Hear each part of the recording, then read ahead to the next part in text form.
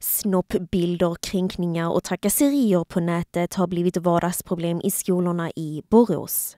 Nu har rektorn Annette Lundgren på Viskaforsskolan fått nog. I fredags avbröt hon alla lektioner i skolan för extrainsatta diskussioner kring sociala medier.